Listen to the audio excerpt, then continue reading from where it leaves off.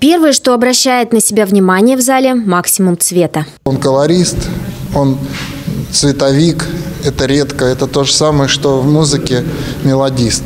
Человек, который способен родить мелодию, запоминающуюся какую-то красивую, с которой будет жить с людьми. Если он берет цвет, то он его берет по-настоящему. Это уже выражение такое профессиональное. В общем, взять цвет, э, создать колорит.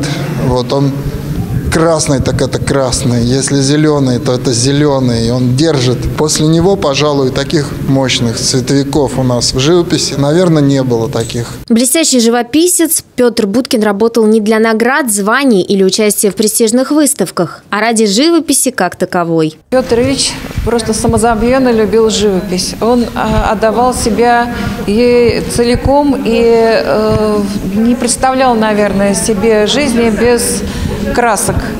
Э, его отношение к миру было гедонистическим. Он принадлежал к тому поколению, которое прошло очень, э, через, через очень суровые испытания. Это и война, это и голод, и разруха. Он сам чудом выжил э, в послеблокадном э, Ленинграде, когда учился в институте имени Репина.